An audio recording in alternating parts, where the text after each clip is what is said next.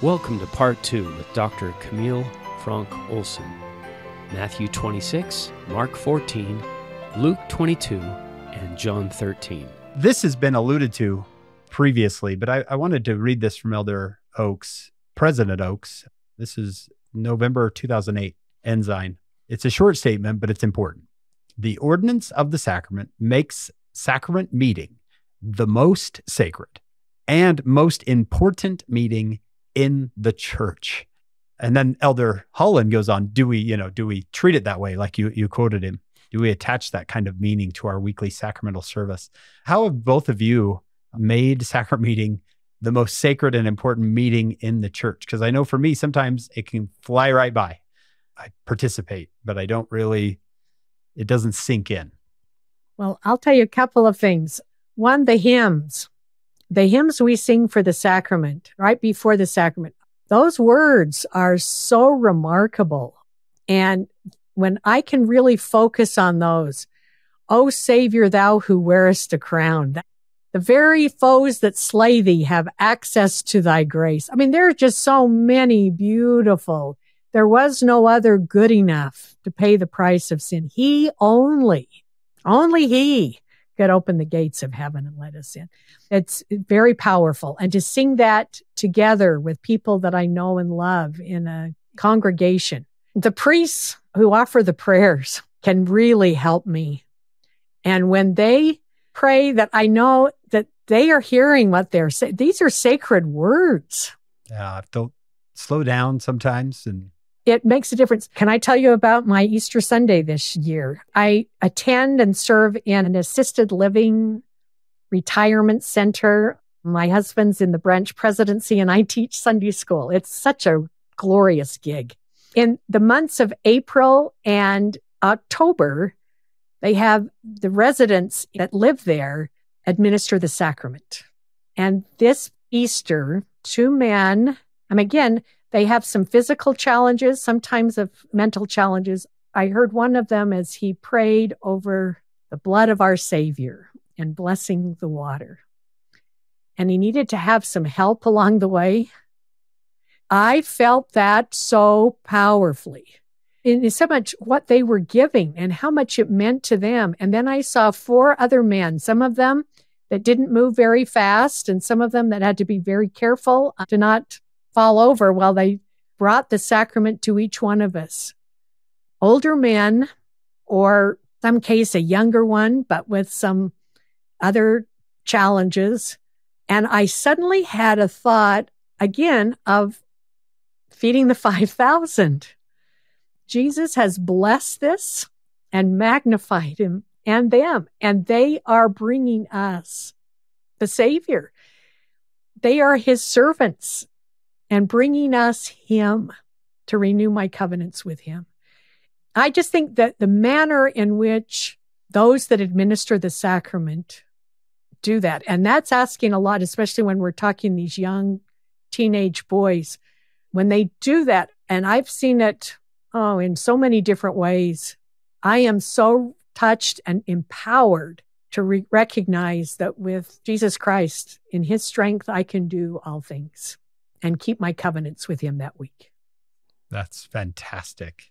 Thank you for sharing that. That was beautiful. I had an experience after I was home from a mission. I was acting as the priest at the table as an elder, the Richards building at BYU, and I was singing the hymn while breaking the bread. And I guess it's hymn number 181 Bruised, Broken, Torn for Us on Calvary's Hill and I had connected what I was singing with what I was doing with my hands. And my mind just started to race. We could have broken the bread before we started the meeting.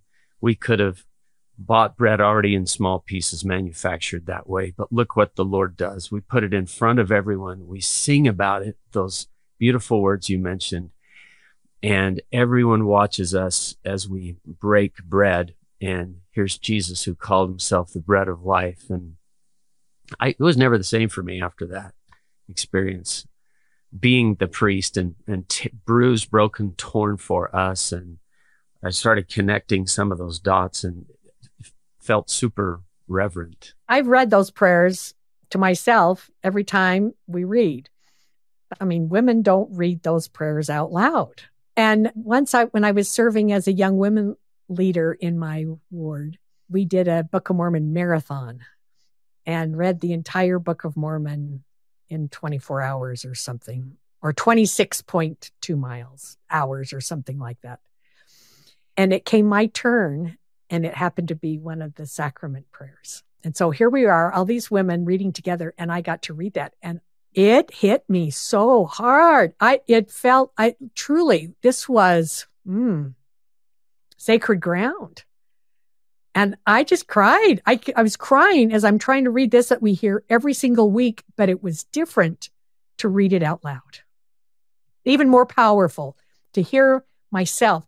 Reading scripture out loud anyway is a very powerful experience, I think. But that prayer, I could not remember ever having done it before. President Hinckley said, When you, as a priest, kneel at the sacrament table and offer up the prayer which came by revelation, you place the entire congregation under covenant with the Lord. Is this a small thing? He said, is the most important and remarkable thing.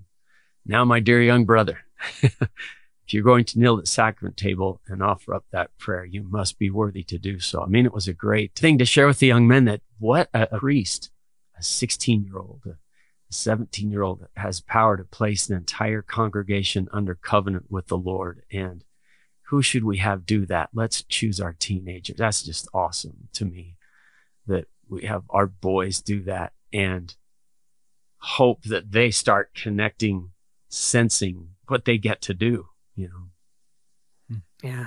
I appreciate them. I appreciate them tremendously. I come to receive their service.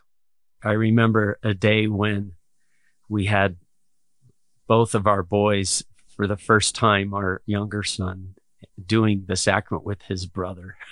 and I just looked at my wife like, can you believe this? This is, these moments don't happen very often. So it was really fun to, to see that.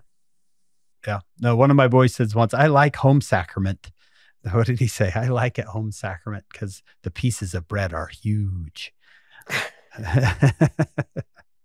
Well, and you look at Third Nephi, they ate and were filled. Filled, yeah. As they were at this very yeah. one, right? This yeah. one was a, a supper, yeah. The sacrament of the Lord's Supper. That's the actual name of that ordinance. And I love that we've read so often in the New Testament about criticisms leveled at the Savior that he actually eats with these people because that was a sign of fellowship and acceptance. And the fact that the Lord invites us to the sacrament table every week and says, I come and eat with me, have the Last Supper with me is, is beautiful that he's, he's invites us every single week, come back to this table, you know. I just do Luke 22, just, and I think it really does kind of fit still with the sacrament. Luke 22, verse 31 the Lord said, Simon, Simon, behold, Satan hath desired to have you, that he may sift you as wheat. That's also in 3 Nephi 18 that the Savior says that to the people of the Book of Mormon, the Nephites. And it's not just one or two of them, but all of them, he tells them. And I thought a lot about what does it mean that Satan wants to sift us like wheat? and I can't remember which one said which, but when President Bateman was president of BYU and Elder Oaks speaking at BYU, within a short period of time brought this up. And one of them said, What happens when you sift something? One of them said, It isolates you. You become separate from everyone else, like the air that goes all around each granule.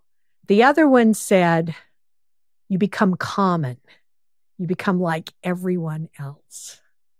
And when I think about what Jesus is going to teach through so much of those five chapters in John at the Last Supper, the importance of unity, to become one, even as he and, and the Father are one. I think he's just saying we've got a force that is trying to do just the opposite, and that is tear us apart and make us just like everyone else. To isolate. Yes, isolate and make common. But he says, I have prayed for thee that thy faith fail not, and when thou art converted, strengthen thy brethren. Remember that talk that Elder Oaks gave where he talks about when thou art converted and that idea that you think, isn't Peter already converted? But there's something different. I mean, as far as where he is now and where he is going to be. And it's one thing to have a testimony and to have an under, a basic understanding, but to say, no matter what, I will be here. I am not going anywhere. There is no plan B for me. And Peter becomes that. I remember teaching Book of Mormon one year at BYU and students asking when we read about the original 12 being our judges and they'd say, are you kidding? They had all kind of problems. Peter was always making mistakes. He's going to be judging me. And I think, oh my goodness, I'm most grateful that he will be one because he understands. And it, see, it's in that context that in Luke, we read and we see this in Matthew and Mark as well. He said, I tell thee, Peter, the cock shall not crow this day before thou shalt deny thrice that thou knowest me. Can we go back to Matthew and let's go back and finish up with John 13? But, but I just think this part with Peter is an important piece to understand and appreciate him. I'm going back to Matthew 26, verse 30. Mark says this as well. They sang a hymn before they left to go to the Mount of Olives. And again, I just think the power of hymns and singing together. It's one thing to hear the music sometime during COVID, we were not allowed to sing out loud. We just listened to the music and read the words. And there's something different about singing aloud, maybe the same as reading scripture aloud. It's very powerful. In Matthew, look at this. I think verse 31 is something that we don't always catch. Then saith Jesus unto them, All ye shall be offended because of me this night. For it is written, I will smite the shepherd, and the sheep of the flock shall be scattered abroad not just Peter, but all of you are going to be offended. Another way to say it, you are going to be so confused. You'll not know what you should be doing. You're like sheep without a shepherd. You're lost. You're going to be lost. But he said in verse 32, after I am risen again, I will go before you into Galilee. And Peter answered and said unto them, Though all men shall be offended because of the yet will I never be offended. And Jesus said, Verily I say unto thee that this night before the cock crow, thou shalt deny me thrice. And Peter said, Though I should die with thee, yet will I not deny thee. Likewise also said all the disciples. So we follow and we know and see Peter later when Jesus is at the house of Caiaphas and that terrible trial and scourging and beating that he's receiving there. Peter is right there close by. I think still trying to figure out what am I supposed to be doing? I'm I think you did feel lost. And three times he denies knowing Jesus. And then the cock crows and he weeps bitterly, right? That's, well, I guess we can get it at the very end of chapter 26. We won't go into a lot between that, but just kind of fitting this piece of it together because this happens a little later that night or quite a bit later. The cock is crowing the next morning, isn't it? But in Matthew 26, 69 to the end of the chapter, there's when you have Peter right outside Caiaphas's palace and people asking, Oh, thou also was with Jesus of Galilee. Oh, yes, you're from Nazareth. I can hear it. Yes, you know him. And three times he said, No, no, no. And then 74, I know not the man. And immediately the cock crew. And Peter remembered the word of Jesus, which said unto him, Before the cock crow, thou shalt deny me thrice. And he went out and wept bitterly.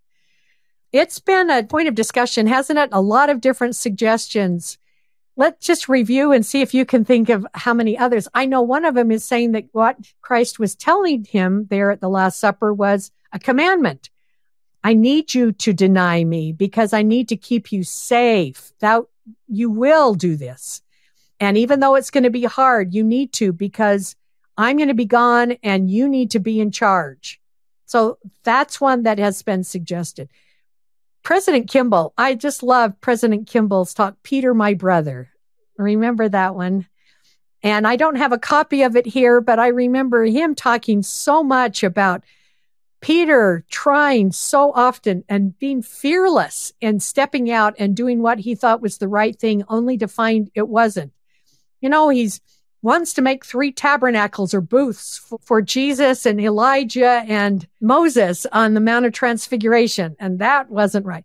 Later, he's going to cut off Malchus's ear there on the Mount of Olives in Gethsemane.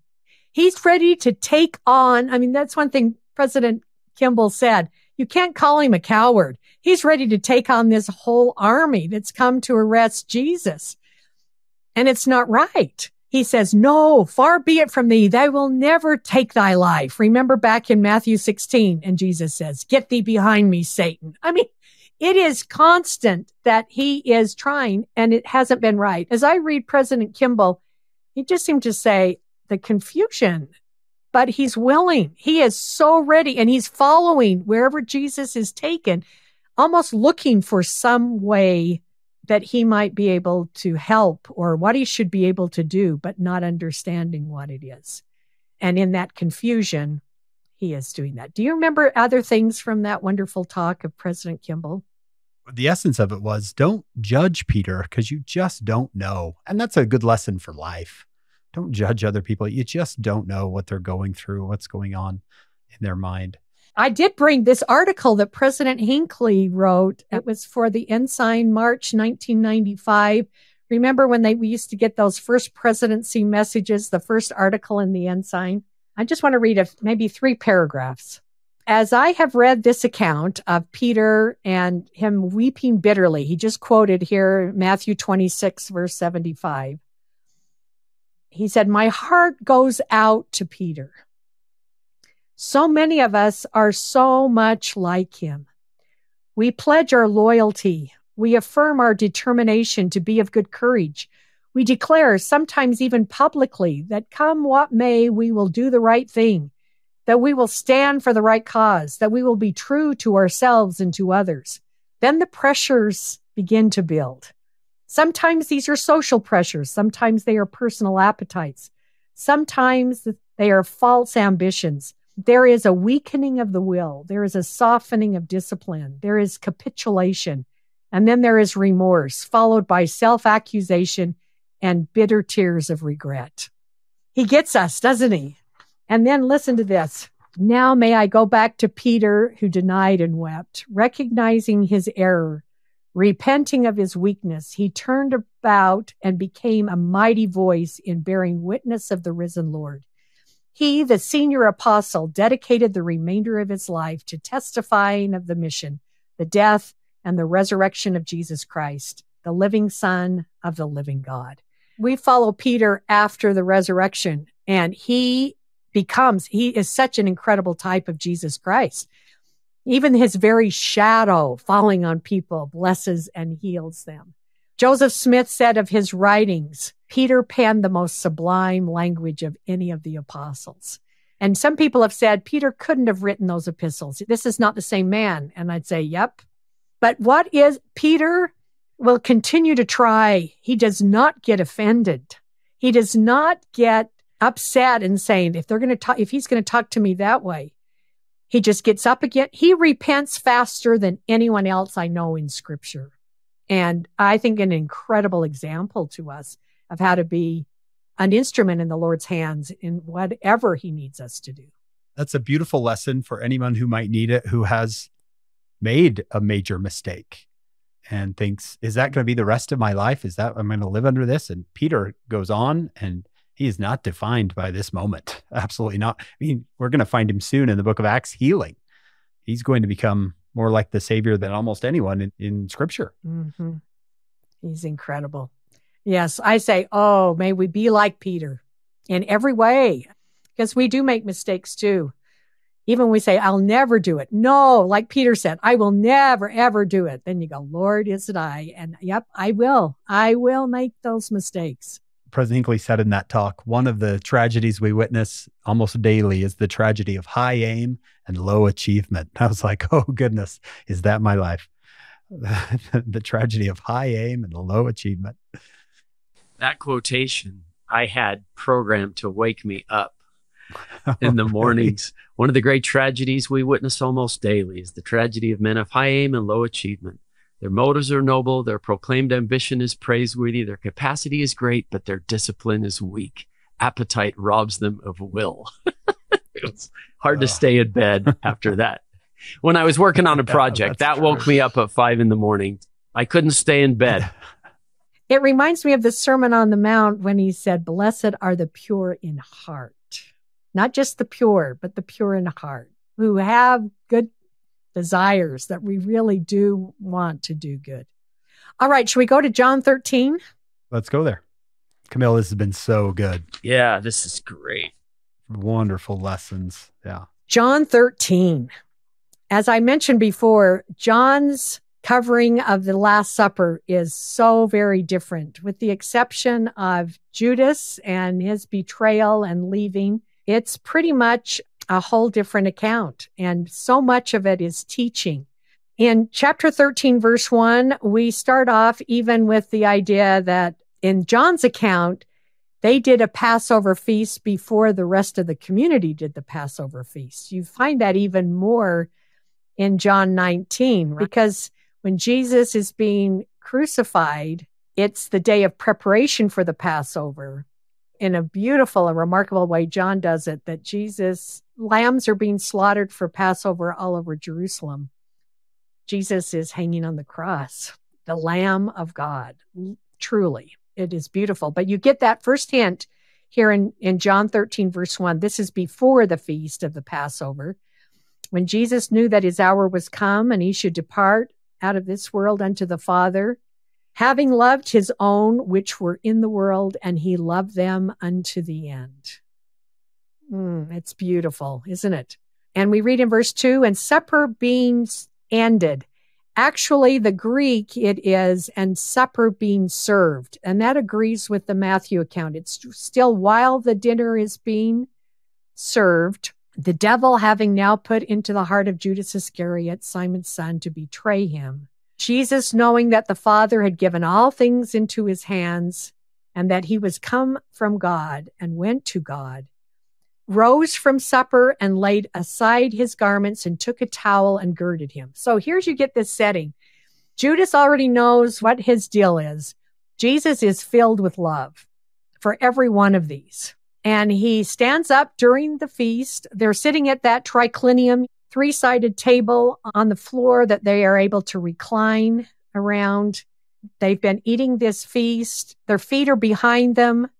And Jesus comes up starts pouring water in a basin, verse 5, to wash the disciples' feet and to wipe them with the towel that he has around his waist. And you remember again, here we are speaking of Peter. It's Peter's voice we hear. And he just pipes up. He sees what's happening. And he said, Lord, dost thou wash my feet?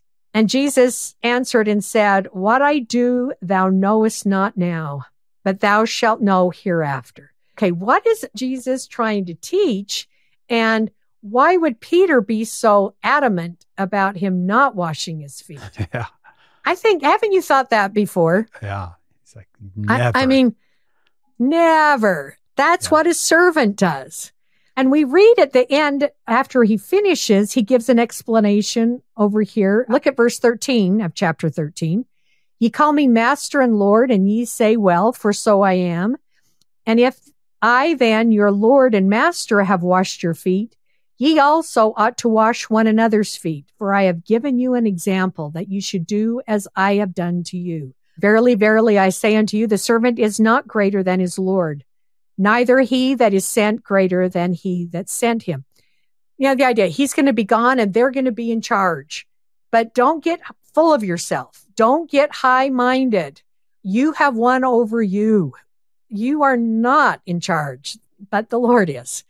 And don't be ashamed to go and be a servant to those. What I have done for you, you go and do for others. So that's the explanation that he gives. And it's a fabulous, it's a wonderful one. And I think we feel it so often when we see someone that we so highly admire that will humble him or herself and come and do something that would say, oh, we could get anybody to do that, but they are willing to do it. And not, no task is so lowly.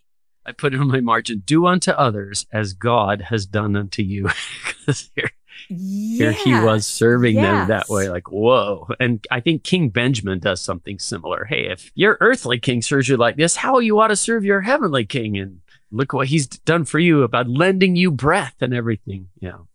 I've noticed in the business world, this seems to be sometimes the opposite. The higher you go, the more perks you get, right? The less you serve.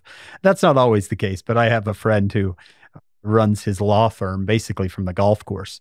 They call him when they need him to make a big decision or something. But for the most part, good for him. But it seems in the Lord's church, he's going to say that's not how this works. The higher you go, if there is a higher, the more work you do.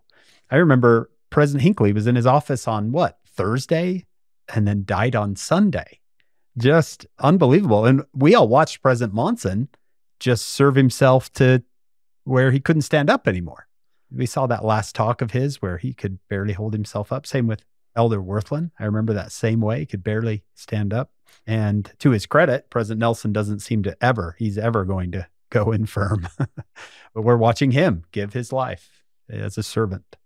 And then you get to the point where you don't want to lose any of them. you just love them so much. Please don't go. Speaking of one of them, our dear Elder Holland, again from his latest book, he said he read this story of Peter saying, No, don't wash my feet. And Jesus saying, You don't understand now, but you later will understand. And he says, I know there's got to be something more besides being an example and being willing to do that for others. And he started reading and he picked up, he just happened to have history of the church right there by him and started leafing through. And he found this quote from Joseph Smith. He said, Joseph Smith wrote, The item to which I wish the more particularly to call your attention to tonight is the ordinance of washing of feet. We have not desired as much from the hand of the Lord through faith and obedience as we ought to have done. Yet we have enjoyed great blessings, and we are not so sensible of this as we should be. And he was speaking specifically of washing of feet. Then he gave this explanation of why they were going to do it. It is calculated to unite our hearts, that we may be one in feeling and sentiment, and that our faith may be strong, so that Satan cannot overthrow us nor have any power over us here. And Elder Holland said, When I read those words, bells started to ring and rockets went into the air because I felt I knew then what Jesus meant when he said to Peter, What I do, thou knowest not now, but thou shalt know hereafter. And the idea again, that purpose of uniting, it goes back to the Luke 22 account when he said to Peter, Satan has desire to have thee that he can sift you as wheat. And then if I could just do a little bit more from Elder Holland, then everything else that followed came alive for me. The institution of the sacrament, that great unifying, accessible opportunity we have every Sunday to keep us united in our own souls with each other and with God. The atonement, the at one-ment, which would keep us together and free us from evil. The great high priestly prayer, John 17, in which Christ prayed that we could be one even in this world. I think that is another beautiful way to look at this and that ties John 13 into some of the things with the sacrament that he doesn't talk about in his account. Similar to Elder Holland, I was thinking more, why would Peter say, no, you'll never wash my feet, which he, he says that in verse eight, thou shalt never wash my feet. Kind of like, I'll never deny you, right? Uh-huh. yeah. Lord, is it I? Yes. Here's my little experience that made the rockets go off in my mind. Some years ago, I decided to give my friends that had everything, it seemed like, something different for Christmas, an experience. This experience I came up with was a pedicure. I just thought we could have some time together. And I had a whole array of nail polishes and I took my little foot washing bucket and wow. some oils and some soaps. And I didn't tell them ahead of time. I just showed up at their house when I knew they would be there and I ring the doorbell and say, Hi, Merry Christmas. I'm going to give you a pedicure. And they're going, How fun. They were all excited. But almost every one of them, after I first got there and I was filling up bowl for their feet with warm water in their kitchen sink. They disappeared in the other room. They'd all be right back. And that happened almost every time I went. And then I had all the sudsy water and we were ready to start and they put their feet in and we had a wonderful time. And I just kept, after it happened so many times, you start putting it together. Hmm, what are they doing? And I go, I know exactly. No one told me, but I knew. What are they doing? They went back in their bathroom and washed their own feet, right? so, so you didn't have to wash dirty feet. Their feet were dirty. And then I thought something else. They knew they didn't want me to see their feet. And it was kind of embarrassing to them too, because they can wash their own feet. That's kind of a menial task to ask someone to touch someone's feet and wash them. And it also got me thinking about Elder Packer reminding us to find the atonement of Christ wherever we can. And I thought this is teaching his atonement as well.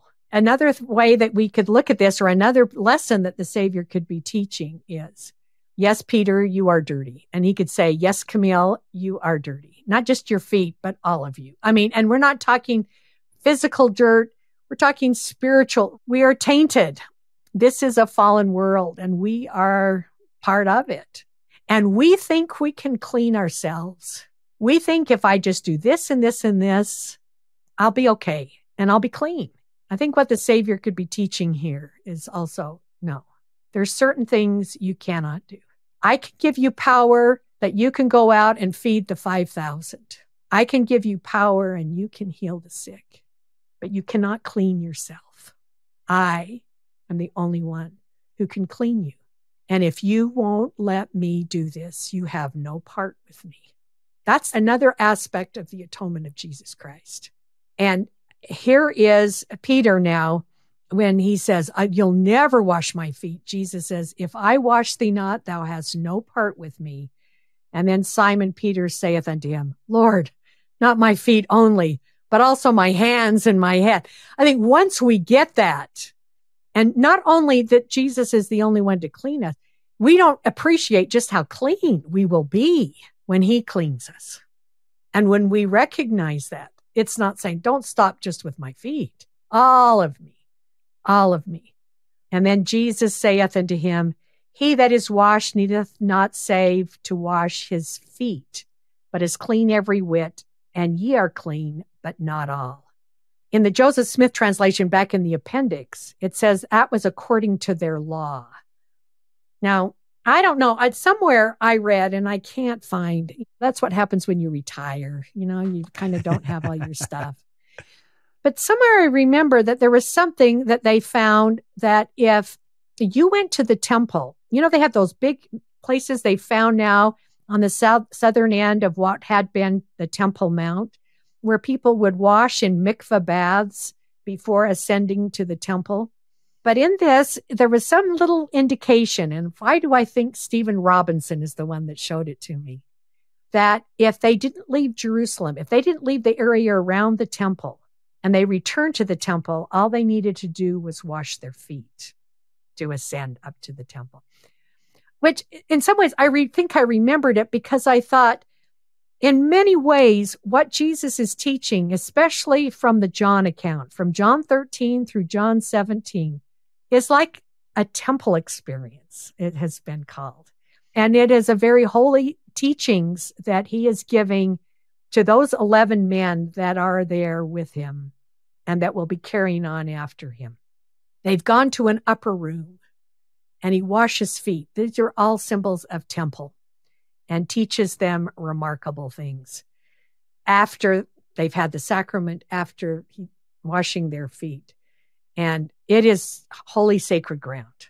And to be okay with letting your whole life, right, your feet, letting your whole life, good and bad and all everything in between, just lay it out in front of him. Right? Don't go try to wash your own feet. it's the same lesson I think Nicodemus was taught in John 3, wasn't it? When he said, if you prefer evil, you don't want the light to come. You just want to stay and not see where there is evil in your life. But he that doeth truth will open ourselves to the light so that we know how to change and what we need to change. that's kind of a precursor to what is happening here, where he now says, I'll clean you. You've opened yourself to me. I will clean you.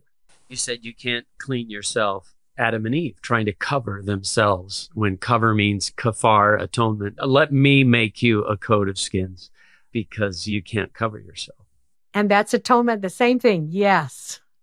But there's some things we cannot do for another person, we cannot do for ourselves. I think this lesson in servant leadership here is so profound that this is how we work in the church. This is from a talk from Elder Uchtdorf, April of 2017. This is a section of his talk, The Greatest Among You. And here it is from Presiding to the Parade. And I really like this story because I actually know the man involved.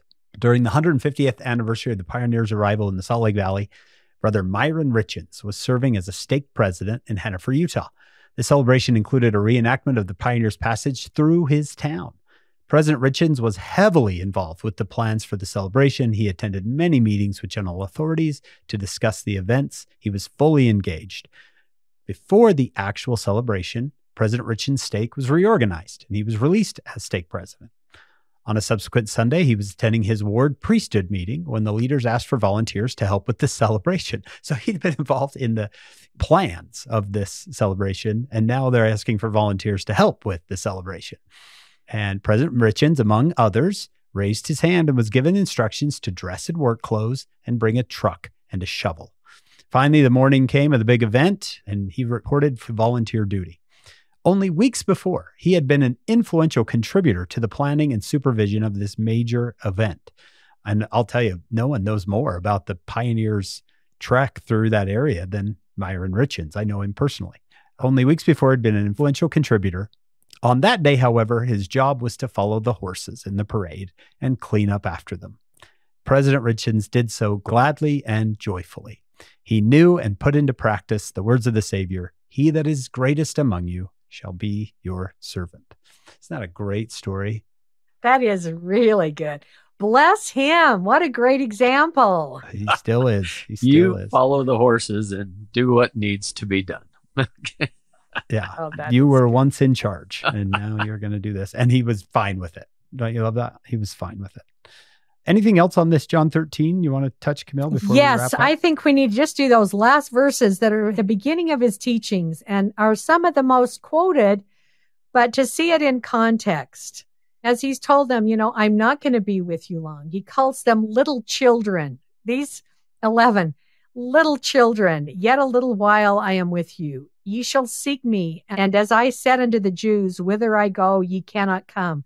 So now I say to you, a new commandment I give unto you that ye love one another as I have loved you, that ye also love one another. By this shall all men know that ye are my disciples, if ye have love one to another.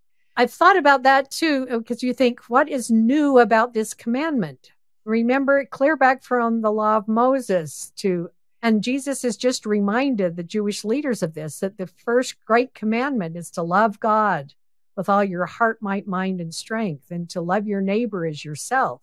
But he's saying here now, just a couple of days later, probably, a new commandment I give unto you. And what is new about this? What is different about this? He's putting himself as the example. You love as he loves, not as I love myself, not as I've seen other examples. I've just shown you what true love is. And he'll go on to say that it will mean sometimes to lay down your life for your friends, but it's how we show we are true disciples of Christ is that we show Christ like love, which is charity, right? The pure love of Christ. Last little thought I had on this was thinking of President Nelson's talk from this last general conference, April 2023.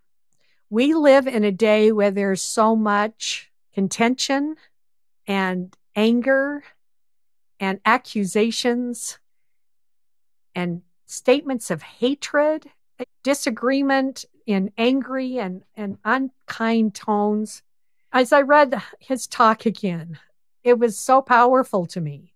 I can hear him telling us today this is still the commandment to be his disciples.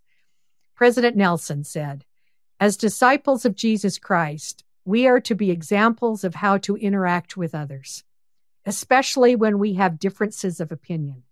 One of the easiest ways to identify a true follower of Jesus Christ is how compassionately that person treats other people. Here's another one.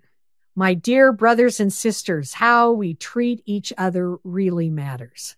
How we speak to and about others at home, at church, at work, and online really matters. Today, I'm asking us to interact with others in a higher, holier way. Please listen carefully. If there is anything virtuous, lovely, or of good report or praiseworthy that we can say about another person, whether to his face or behind her back, that should be our standard of communication. And one more from him. Brothers and sisters, the pure love of Christ is the answer to the contention that ails us today. Charity propels us to bear one another's burdens rather than heap burdens upon each other. The pure love of Christ allows us to stand as witnesses of God at all times and in all things, especially in tense situations. Charity allows us to demonstrate how men and women of Christ speak and act especially when under fire. Well, we live in fiery times. With what we're studying this week in Come Follow Me and the Savior's tremendous example and teachings, the love he showed not only in giving the sacrament, but in what he taught in washing feet, including Judas Iscariot's feet. It was with as much kindness and love as he, if not more so, than even any of the others and his teachings to come follow him, to love others as he loved them. What we have, though, is his spirit and his gospel to strengthen us and enable us to do that. I just want to commit, I'm going to be better. I am trying to be better, a better disciple by loving better and more closely the way the Savior has loved me and all others. Thank you for allowing me to speak through and feel again and bear witness of these powerful chapters in the New Testament. We loved having you, Camille. It's been just an honor and a treat for you to be back with us. Thank you for being here. Thank you for taking of your time to be here. We know you are enjoying retirement, as you should. John, what a great job we have I know I've been looking forward to this, and I love Camille. I remember watching her on those roundtable discussions and always loving her insights. And so I was, oh, good, Camille's coming today. We get to to learn this. So thank you for being with us. We loved it. We want to thank Dr. Camille Fronk Olson for being with us today. We want to thank our executive producer, Shannon Sorensen, the amazing Shannon Sorensen. We want to thank our sponsors, David and Verla Sorensen, and we always remember our founder, Steve Sorensen. And we hope all of you will join us next week. We have more New Testament coming up on Follow Him. Today's transcripts, show notes, and additional references are available on our website, followhim.co, followhim.co. And you can watch the podcast on YouTube with additional videos on Facebook and Instagram. All of this is absolutely free, so be sure to share with your family and friends. To reach those who are searching for help with their Come Follow Me study, please subscribe, rate, review, or comment on the podcast, which makes the podcast easier to find. Thank you. We want to thank our incredible production crew David Perry, Lisa Spice, Jamie Neilson, Wil Stoughton, Crystal Roberts, and Ariel Quadra. We also love hearing from you, our listeners. The Follow Him podcast has been extremely important to me. Um, I had to come home early from my mission due to a medical injury and I was not able to read the scriptures um, because of it would cause a lot of pain and headaches and things. But um, what I did was I listened to the scriptures a lot, and I listened especially to the Come Follow Him podcast. Um, and that was a really difficult time when I was coming back early. I was not expecting to be home, um, but me and my mom were able to listen to this podcast together, and I was able to help me to feel the Spirit. It was able to help me to feel like I still had value in the eyes of the Lord, and I could continue to learn even when circumstances were not ideal. Um, and I've listened to the Come Follow Me podcast almost every week since. Um, And it's been incredibly impactful for me, and it's helped me to understand my Savior even better.